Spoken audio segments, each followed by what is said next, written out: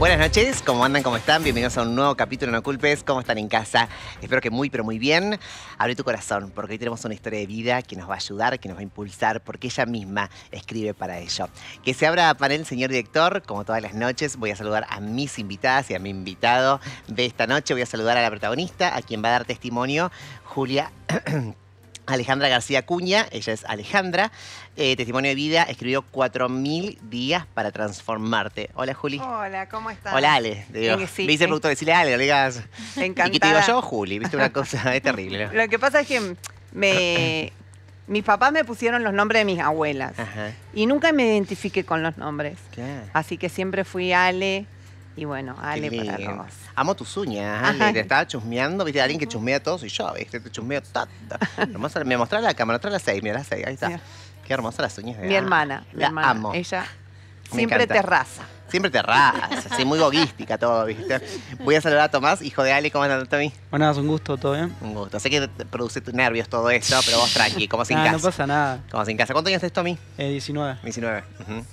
Bueno, acompañando a mamá Sí, en todo esto. Vamos yendo y viniendo. Tipo, somos de Buenos Aires, así que nos vamos organizando con mi papá y mi hermano para ir viniendo y estando con mi mamá. Qué lindo que la acompañes, Tommy. Sí, Sí. Qué lindo, qué, qué- qué hermoso. Qué hermoso tener a tu familia más cercana cerca. Sí, eso es, sí, sí, sí. eso es hermoso. Así que Eso Tommy. hace la diferencia. Sí, sí, la verdad que sí. Sí. Em, Carolina García, hermana de Alejandra, Caro, ¿cómo estás? Muy bien, la verdad que muy bien, feliz de poder acompañarlos y de estar con ella y con vos. Un Oh, muchas gracias. Diosa también, ¿eh? Ay, muchas gracias. Diosa hermosa. Y Voy a saludar a Vanina Guajardo, ella es licenciada en psicología, amiga de Alejandra y biohacker, ¿está bien? Sí, muy bien. Ah, ¿lo pronunció bien? Sí, Ah. perfecto. ¿Qué te pasó en el cuello? Y tuve Te un... preguntar fuera del aire, pero dije, sí, se preguntó al aire. Un, un accidente de Ah. automóvil y estoy esperando eh, que me pongan una prótesis entre la segunda y la tercera vértebra. Y eh, este el- está lesionado toda la parte izquierda, está Ah. casi inmóvil mi brazo ahora y... Pero estás bien. Bueno, eh, sí, No, estoy, bueno, estoy sí. con dolor, Con pero nada más que Eso, eso. eso, eso que preguntar. Nada más que eso. No me imaginé que era tan grave, pensé que me iba a decir, sí, acá tuve un... No, me imaginé tanto. Nada más que eso. Pero estás bien, estás acá. Estoy bien porque estoy acá acompañando y ayudando a transmitir eh, linda. esta historia maravillosa, preciosa, inspiradora. Lo que te quiere, Vani, ¿eh? Sí. Lo que te quiere porque, mira, Los amamos. si alguien es- escribió, yo nunca me escribió en WhatsApp, pero si alguien me escribió, ¿cómo te puedo decir? No sé cuántas, ¿cuánto me escribió? Una cosa así me escribiste con... Te conté la historia. Todo, audios de cinco Audio. minutos tenía, cinco ¿Por minutos de audio.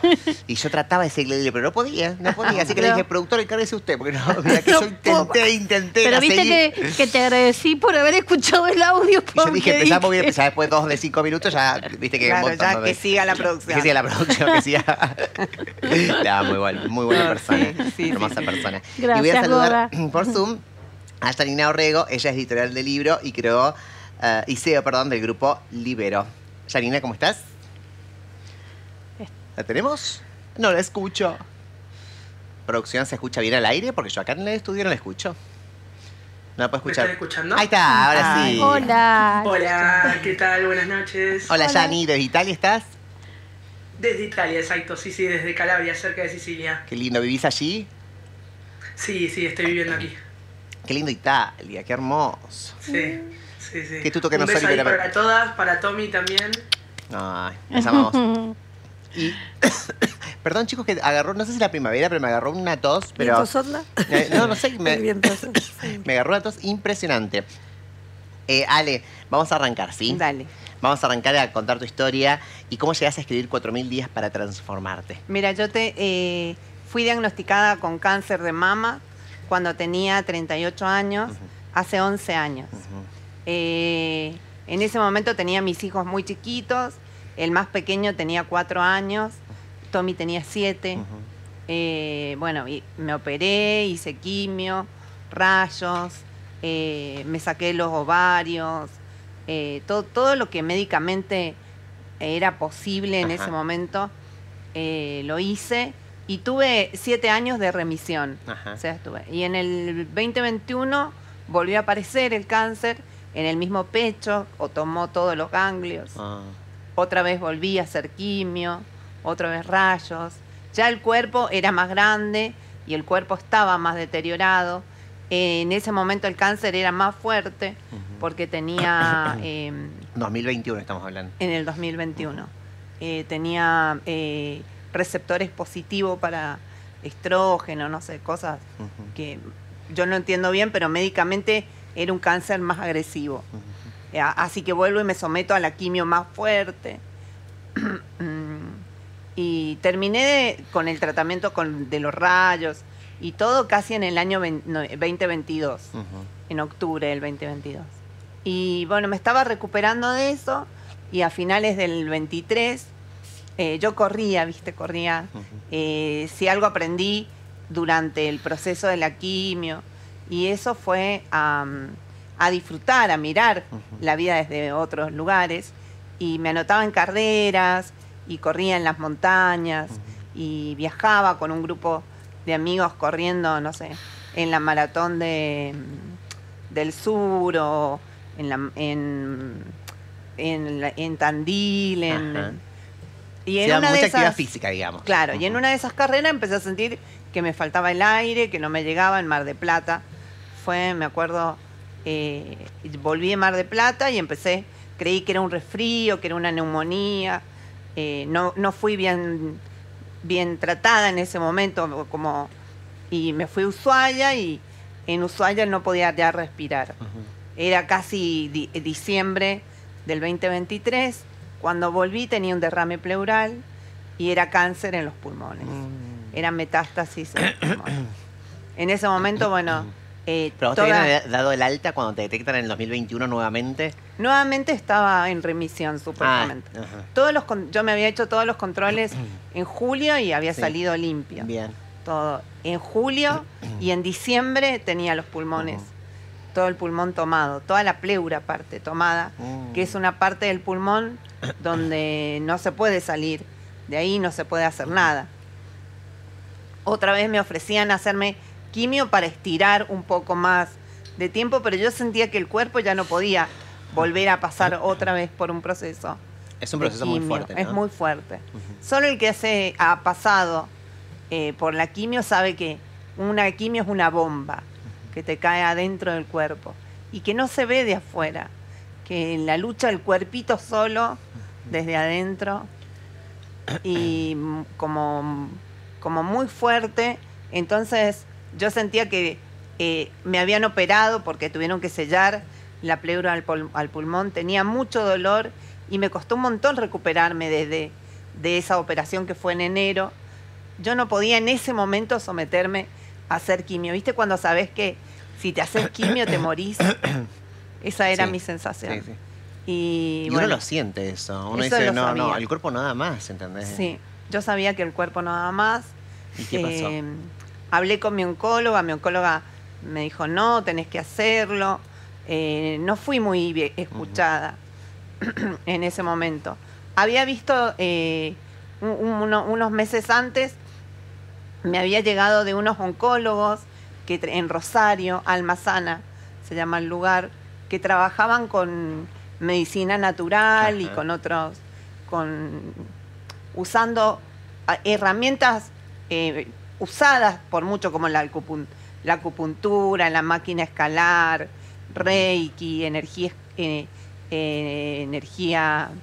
Eh, cuántica, eh, la ozonoterapia. Sí, todo lo que, lo que Bueno, ellos tenían un lugar donde eh, el Hospital del Cielo lo llaman, donde tenés tres días y pasás por todos esos. Mm. Entonces fui ahí y ahí, y ahí viendo cómo estaba mi cuerpo y todo, tomé la decisión de no, de no, de no hacer. de no quimios, de no. Tres meses me dijo la oncóloga. Si dejas la si dejas de hacerte nada en tres meses, te vas. Y dije, prefiero tres meses dignos y, y no pasar y por algo que te- pasar por algo que va a deteriorar Claro. mi cuerpo, mis ganas de vivir, Sí. mis ganas de disfrutar, mis ganas de... Y eso era febrero, marzo, me senté a escribir. Primero porque quería dejar eh, mi historia contada y segundo porque tenía un montón de mensajes que había recibido de ángeles, de maestros, desde que soy muy chiquita y ya me venían pidiendo que, que los, los dejara escrito y lo tenía todo a mano, todo pasado a mano. Y otra vez volví a agarrar el lápiz eh, y un cuadernito y empecé a escribir. Escribí. Eh, y en julio mm, me di cuenta, yo vivía en Buenos Aires desde el 2020 me fui a vivir. Siempre no hubo un año que no di- que dijera eh, me quiero volver a Mendoza. Mendoza es mi lugar, Mendoza. Y siempre postergué eso por mis hijos, por mi trabajo, por eh, la familia, el dinero, el ya cuando me jubile, el esperar que... Y hubo un momento en el que me di cuenta que, que cada vez me faltaba más el aire, que nada más que dije, este es el momento de... que fue en junio y me vine a Mendoza A vivir. a vivir a Mendoza. Vine primero con, un pa- con el pasaje de venida, sin vuelta, y cuando llegué acá supe que me tenía que quedar acá. Y acá se me complicó, tuve otra vez eh, eh, un, un de- otro derrame que fui en, fue en el hospital central, donde me, me salvaron y donde eh, encontré un equipo de paliativos hermoso, Excelente. donde me estoy tratando ahora. Y mm, acá me quedé y acá terminé de escribir. Y cuando terminé de escribir, eh, dije, bueno, ahora lo quiero, al lo quiero ver al libro, pero pensaba en eh, pasarlo a mano, le, pedí ayuda a mis amigas, entre todos escribámoslo, ayúdenme a pasarlo, lo imprimo y lo anillamos. Y mi amiga Vanina dijo, no, yo tengo, yo te voy a conectar, tengo las personas, tengo una amiga que editó un libro una- y así llegamos a Yani, Ah.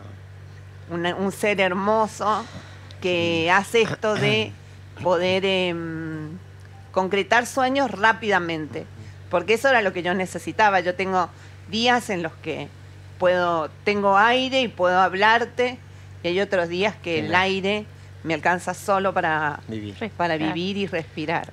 y que vestirme y ponerme el pantalón Claro, te y ponerme es como si hubiera corrido 21 kilómetros. ¿Y cómo está tu situación, Ale? Digo, Y en este momento estoy así, días buenos Eh, pero y digo, la días más metástasis o está menos. La metástasis se extendió todo, los dos pulmones eh, y, y la parte de los huesos.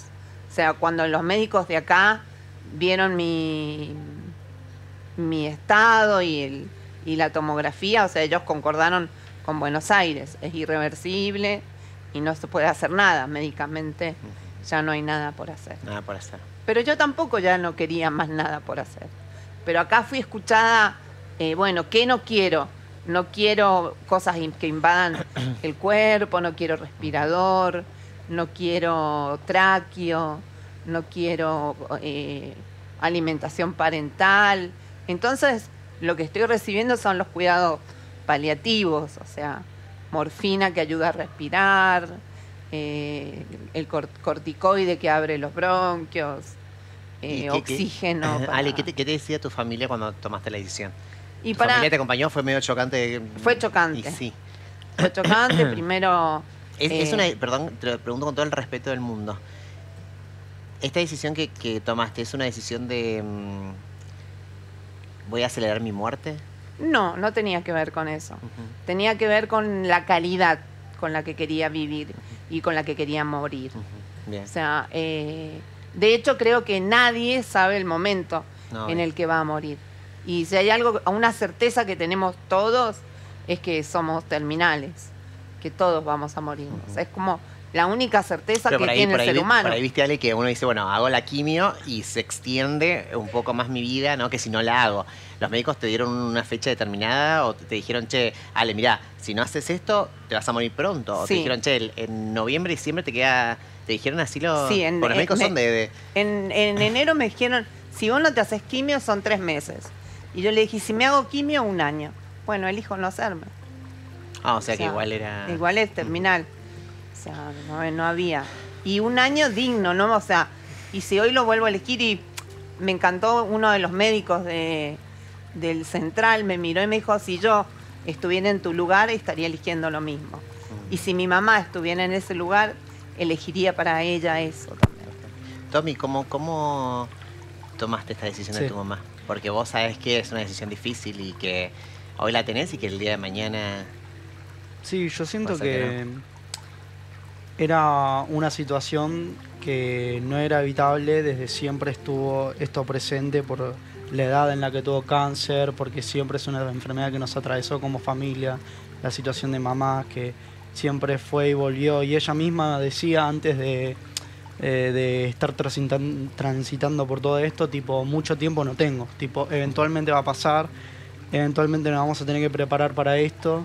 Ella lo sentía, lo, vivía desde ese lado de quiero experimentar los meses que tengo de la mejor forma posible, viajar, eh, con la poca plata que tenga, viajar, correr, eh, visitar otros lugares, porque sabía que tipo que nunca su diagnóstico fue bueno, que siempre tuvo un cáncer muy agresivo, que vuelve, de que mm, es un tema genético, familiar también.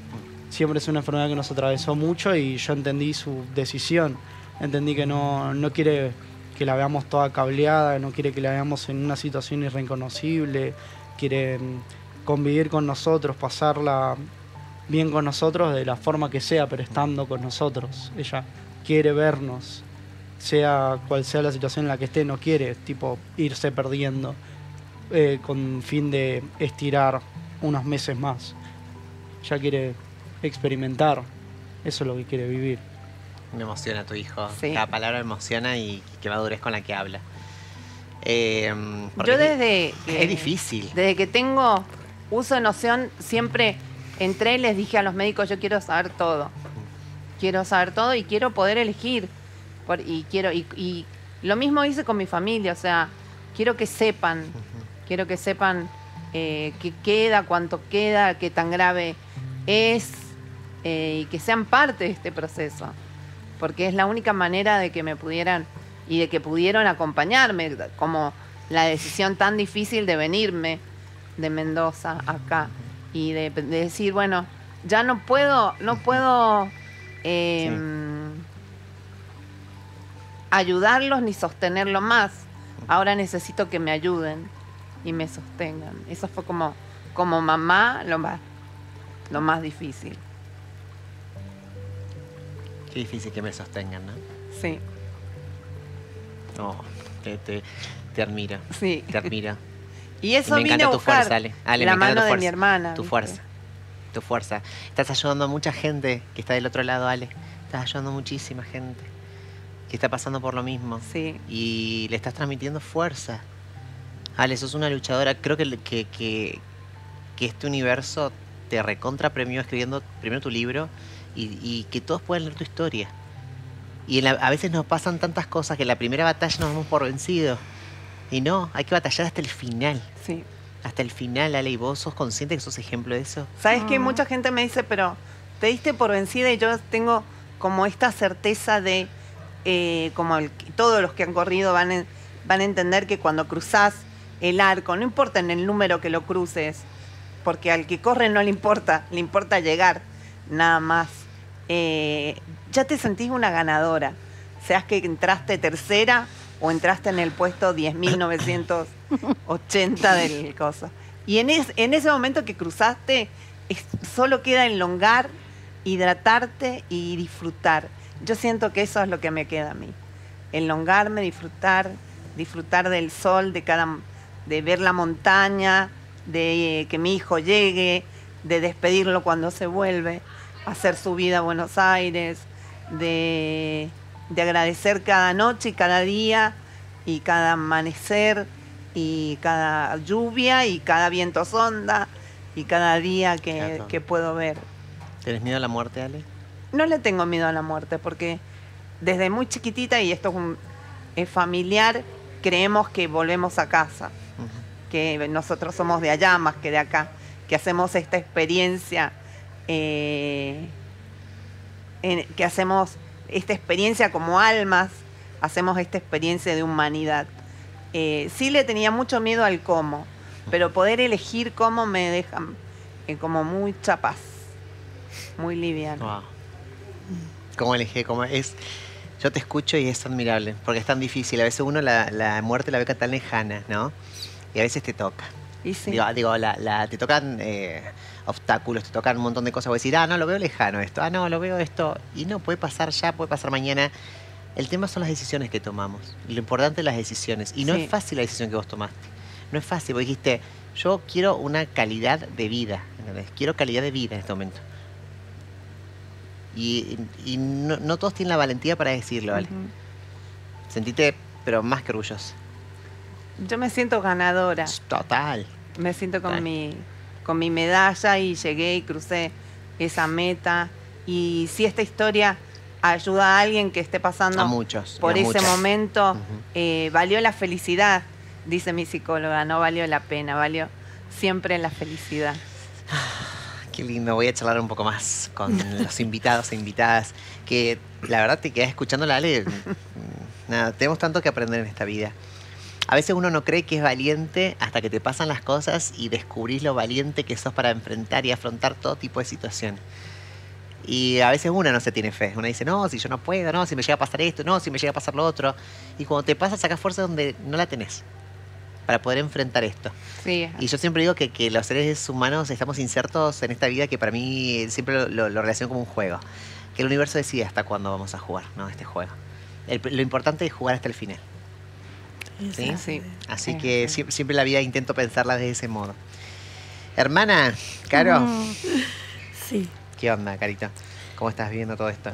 La verdad que es de las cosas más difíciles que he tenido que enfrentar. Siempre siento que como familia nos ha tocado enfrentar cosas muy, muy complejas. De hecho, Ale a los 15 años se quemó el 70% de su cuerpo. Yo era más pequeña y esa situación familiar ya fue muy dura, durísima y muy traumática. Fue difícil salvar su vida en ese momento y mm, durante un montón de tiempo la he visto sufrir tanto. Y es tan difícil ver sufrir a una persona que amas tanto. Eh, nosotros tenemos una relación de hermanas bastante peculiar, porque ¿Por qué? Somos muy unidas a pesar de que ella ha vivido muchos años en Buenos Aires.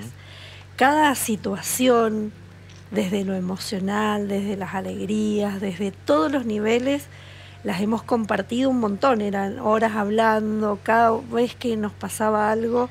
Y hemos ido como transitando distintos procesos, ella allá, yo acá, pero siempre juntas. Y siempre eh, que he podido viajaba y siempre he estado y siempre ella ha viajado y siempre hemos estado y hemos luchado para vernos y era, bueno, ya pasaron dos meses y no nos hemos visto, veámonos, cómo hacemos para acortar distancias. Mis papás, los dos, fallecieron en el 2017, golpe también muy duro, porque fallecieron ocho días de diferencia uno con el otro, y nos quedamos solas, Son dos hermanas. solo dos hermanas. Eh, toda la familia de mamá colombiana, nosotros somos las dos colombianas, eh, vive en Colombia y la familia de papá no, no hay más familia, o sea que estamos solas. Eh, y tenerla enferma ya ha sido muy difícil y verla en esta situación cuando yo llegué en diciembre a Buenos Aires, supe que era un momento difícil y terminal. Y cuando el médico nos dio el diagnóstico los primeros días de, de enero, después de la operación de la pleura, que nos dijo que era el cáncer en su pleura, definitivamente, supe que quedaba muy poco. Y entonces agarré su mano y le dije que iba a estar con ella hasta el final. Como nos habíamos elegido. Y estando en Buenos Aires era muy difícil. Eh, había muchas personas que, que no entendían y que querían que se hiciera la quimio. Yo sabía que no iba a suceder eso. Y ver a mis sobrinos, pequeños aún, y hablar con ellos sobre esto. Ay, eso fue difícil. Fuerte. Y cuando me vine en febrero para comenzar a trabajar, eh, le dije que en mi casa siempre iba a haber un lugar para ella. porque ella añoraba volver a Mendoza, añoraba estar acá, a pesar de tener toda una vida allá, pero era un sueño para ella y una gran posibilidad poder estar acá. Y cuando llegó y la vi tan mal y la sentirse, porque muchos momentos la he sentido que sentido que se me iba, se me iba como agua entre las manos.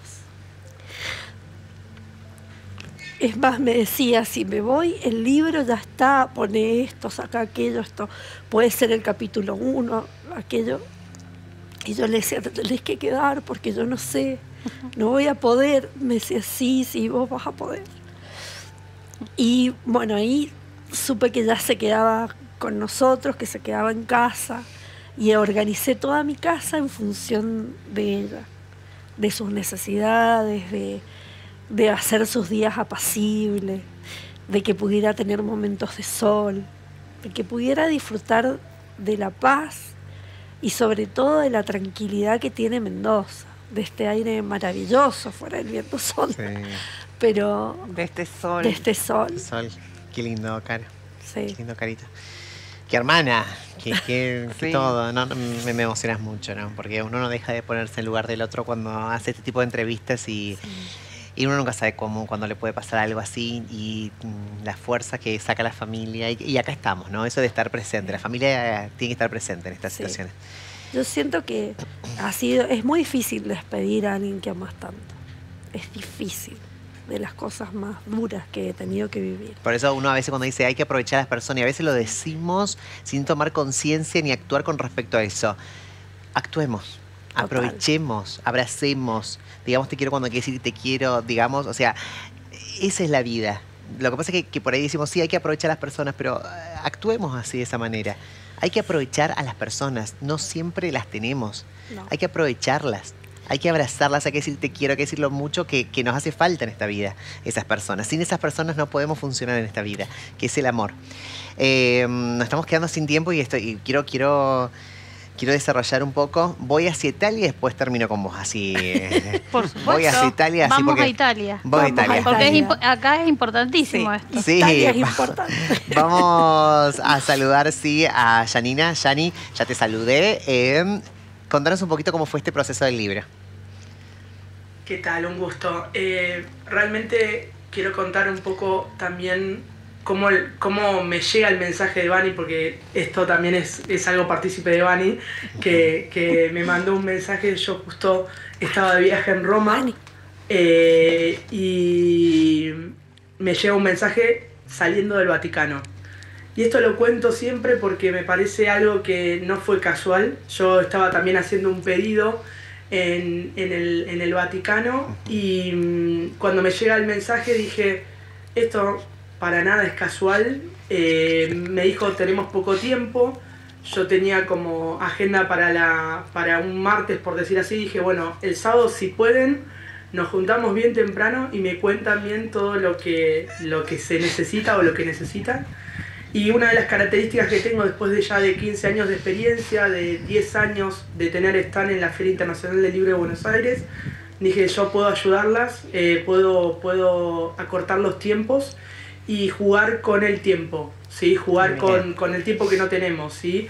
Al estar en Italia tenemos 5 horas de diferencia, en este momento son, son, es tarde ya aquí. Sí. Y, y entonces el equipo, yo tengo equipo en España y equipo en Argentina, Ajá. podemos jugar con 19 horas de, de vida, por decir así, 19 horas de estar casi 20 en vez de las 24 horas, 20 horas, donde cuando Argentina duerme, eh, España e Italia se despierta, cuando España e Italia se, se acuesta, Argentina se despierta. Entonces ahí es a donde eh, jugamos con eso y jugamos con los tiempos donde podemos ayudarla a Ale para cada vez que necesitamos hacer un cambio, cada vez que se planteó la idea de la portada, cualquier cosa, ahí estamos siempre eh, activando todas las redes del equipo para que eh, se accione lo más rápido posible y, y que yo le dije, mi sueño hoy en día ahora es que ella antes de que se vaya tenga su libro en la mano.